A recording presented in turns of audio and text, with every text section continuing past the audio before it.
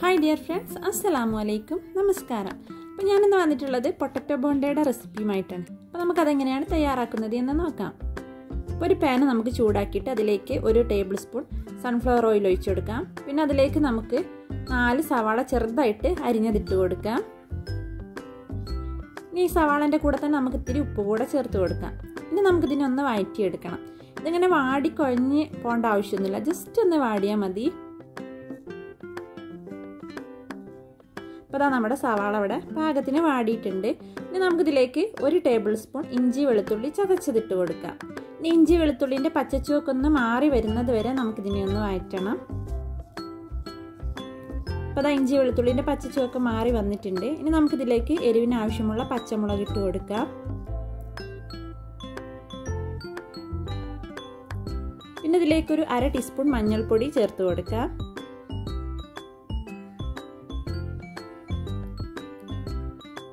ഇനി നമുക്കിതിലേക്ക് ഒരു കാൽ ടീസ്പൂൺ ഗരം മസാല ഇട്ട് കൊടുക്കാം. എന്നിട്ട് നമുക്കിതിനെ നന്നായിട്ടൊന്ന് വഴറ്റിയെടുക്കണം. ഇനി നമുക്കിതിലേക്ക് കുറച്ച് മല്ലിയില ചോപ്പ് ചെയ്ത് ഇട്ട് കൊടുക്കാം. പിന്നെ ഒരു മൂന്ന് പൊട്ടറ്റോ ബോയിൽ ചെയ്ത് മാഷ് ചെയ്ത് എടുത്തതാണിത്. ഇത് നമുക്കിതിലേക്ക് ഇട്ട് കൊടുക്കാം.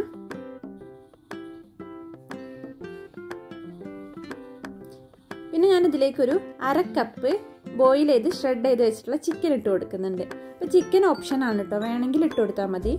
ഇല്ലെങ്കിൽ കുഴപ്പമില്ല. ഇനി നമുക്കിതെല്ലാം കൂടെ നന്നായിട്ടൊന്ന് മിക്സ് ചെയ്തെടുക്കണം. പിന്നെ ലാസ്റ്റ് ഇതിലേക്ക് ഒരു കാൽ ടീസ്പൂൺ കുരുമുളക് ചതച്ചതിട്ട് കൊടുക്കുന്നുണ്ട്.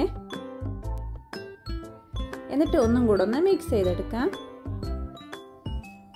അപ്പോൾ അതാ നമ്മുടെ പൊട്ടറ്റോ ബോണ്ടേന്റെ മിക്സ് റെഡി ആയിട്ടുണ്ട്. ഇനി നമുക്കത് തണുത്താൽ അതിനെ കുഞ്ഞു കുഞ്ഞു ബോളുകളാക്കിയിട്ട് നമുക്ക് ഉരുട്ടിയെടുക്കാം.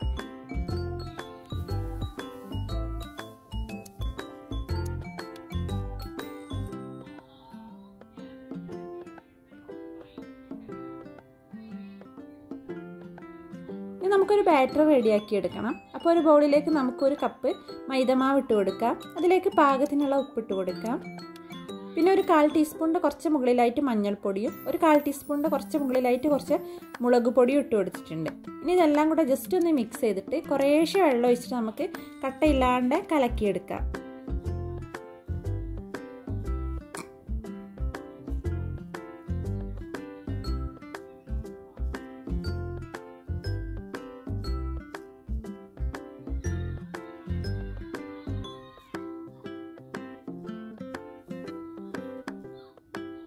അപ്പോൾ അതാ ഇതാണ് അതിന്റെ ഒരു പരുവ. അപ്പോൾ നമ്മുടെ ബാറ്ററി റെഡിയായി. നമ്മൾ റെഡിയാക്കി വെച്ചിട്ടുള്ള ബോൾ ഇതിലിട്ടിട്ട് നമുക്ക് ഇതൊന്ന് കോട്ട് ചെയ്തിട്ട് നമുക്ക് ചൂടായ എണ്ണയിലിട്ടിട്ട് ഫ്രൈ ചെയ്തെടുക്കാം.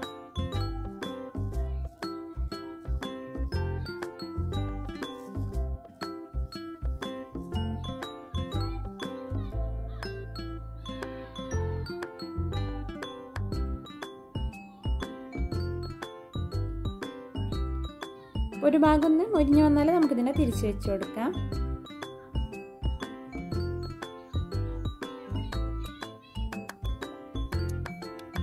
എന്നിട്ടത് രണ്ട് ഭാഗം നല്ല കളറായാലും നമുക്കിതിനെ എണ്ണയിൽ നിന്ന് മാറ്റാം.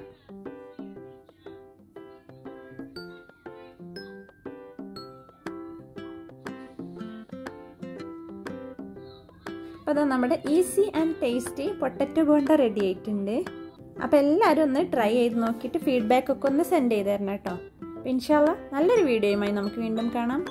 ടേക്ക് ബൈ ബൈ അസ്സാം വലൈക്കും